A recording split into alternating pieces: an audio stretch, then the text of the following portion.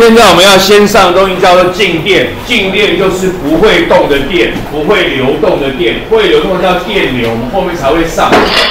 好，第一个就是讲静电，讲的叫做静电。古人就已经发现一些事情，然后希腊人就发现摩擦后的琥珀能够吸一些小小的绒毛，可以吸一些小东西。这个在小学应该做过，拿什么纸啊磨一磨，然后吸一些纸片，就类似那个动作。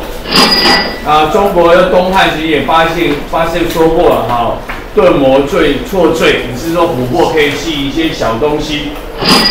然后呢，所以他把这个现象，希腊人把这个现象称之为电啊，这个电就是从这个希腊文上变过来，给这个是小事一桩。那有一位大哥就做了实验，他做实验呢发现呢，哎，玻璃跟琥珀会互相吸引，可是玻璃跟玻璃、琥珀跟琥珀会互相排斥。于是由这个现象得到说，电最少会有两种。电造了两种，啊，所以一个 A 一个 B，然后呢，有的会互相吸引，有的会互相排斥，他就把它叫做琥珀电跟玻璃电。那现在把它称之为正电跟负电，琥珀电是负电，玻璃电是正电。这个等一下会有类似的东西你要背，这些东西你要背。OK，就是电有两种。然后呢，从这个实验可以知道的结论，就是小学就念过的，同性电会相斥，异性电会相吸。A 跟 A 会互相排斥，B 跟 B 会互相排斥，跟 A 跟 B 会互相吸引。琥珀电跟琥珀电会互相排斥，琥珀电跟玻璃电会互相吸引。请注意，会互相吸引的，除了异性电之外，还有一个状况叫做带电的会吸引不带电。为什么我们国中没有解释，只告诉你结论，你就记结论就好了。所以互相吸引的情况有两种，一个叫做异性电会相吸，一个叫做带电的会吸引不带电。于是就问了一个问题，的考试会考的类似题目，白法可以换不同的白板，意思都一样。请问它带正电、带负电还是不带电？图形上显示，A 跟 B 会互相吸引，B 跟 C 会互相排斥，C 跟猪会互相吸引，所以 B 带什么电，C 带什么电，猪带什么电？好来，请问，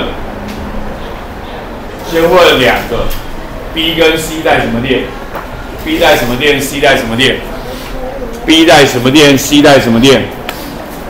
停车暂借问。好，B、C 带什么电？我们找人，又是二十一，二十一，B 带什么电？C 带什么电？谁带负？B 带负电，C 也带负，两个都带负电，请坐。你两个都带负电。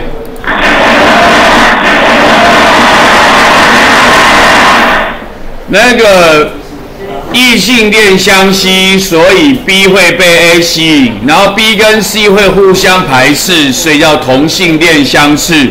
所以呢，B 是带负的，C 也是带负的。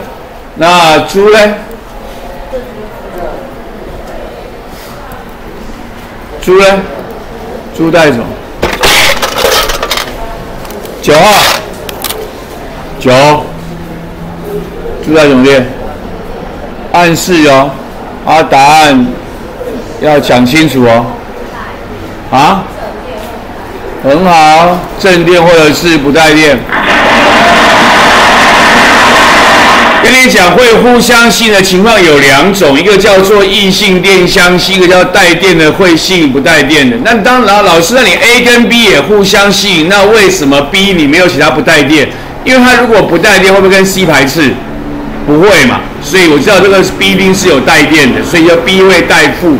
可是出它只画这样的话，我就只能知道它就互相吸引而已。互相吸引有两种，一个叫做异性电相吸，一个叫带电的会吸引不带电的。所以出答案是带正电或者是不带电。这就是要请你判断它是正电还是负电。很简单，同性恋相似，异性恋相吸。注意，相吸有两种，一个叫做异性恋相吸，一个叫做带电的会吸引不带电的，知道拿来判断就可以了。